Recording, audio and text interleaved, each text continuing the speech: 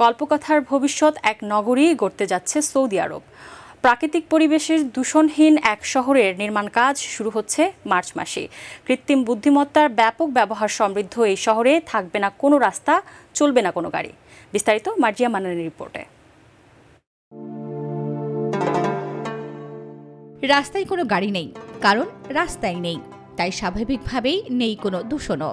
এমনই এক ভবিষ্যতের শহর তৈরি করতে চলেছে সৌদি আরব। সৌদি যুবরাজ মোহাম্মদ বিন সালমানের এই ঘোষণার পরেই বিশ্বজুড়ে এই শহর নিয়ে কৌতূহল এখন তুঙ্গে। দুই হাজার সতের সালে সৌদি সরকার নিয়ম প্রকল্পের ঘোষণা করে, যেখানে নতুন এই শহর তৈরির ঘোষণা হয়েছিল। কিন্তু নানা জটিলতায় সেই প্রকল্প এতদিন আলোর মুখ দেখেনি। এবার শুরু হচ্ছে এর নির্মাণ কাজ। এই শহরে কোনো গাড়ি থাকবে না মাত্র পাঁচ মিনিট হাঁটলেই প্রয়োজনীয় সব কিছু পাওয়া যাবে। আর শহরের এক প্রান্ত থেকে অন্য প্রান্তে যেতে সময় লাগবে মাত্র বিশ মিনিট।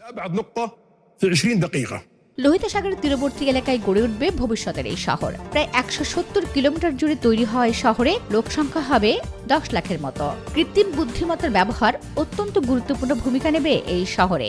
একশো শতাংশ দূষণমুক্ত বিদ্যুৎ উৎপাদন হবে এখানে, যা শহরবাসীর জন্য এক স্বাস্থ্যকর পরিবেশ উপহার দেবে। শহরটির নাম দেওয়া হয়েছে দ্য লাইন। এখানে থাকবে না কোনো যানবাহন কোনো রাস্তা এবং কোনো কার্বন নির্গমন। সৌদি যুবরাজ বলেছেন গতানুগতিক শহরের ধারণাকে পাল্টে এখন উচিত ভবিষ্যতের কথা ভাবা। আর সেই ভবিষ্যতের ভাবনাতেই দূষণমুক্ত এই শহর তৈরির উদ্যোগ নেওয়া হয়েছে। আমাদের এখন প্রচলিত শহরের ধারণার পরিবর্তন করে ভবিষ্যতের শহরের ভাবনা ভাবতে হবে। নিয়ম প্রকল্পের পরিচালক বোর্ডের চেয়ারম্যান হিসেবে আমি লাইন শহর উপস্থাপন করছি। نقدم لكم ذا لاين কিন্তু প্রশ্ন হলো কোনো গাড়ি না থাকলে মানুষ যাতায়াত করবে কিভাবে সেই বিষয়টি অবশ্য এখন স্পষ্ট নয় তবে শহরের এক প্রান্ত থেকে অন্য প্রান্তে যেতে মাত্র বিশ মিনিটের বেশি সময় লাগবে না বলেও জানানো হয়েছে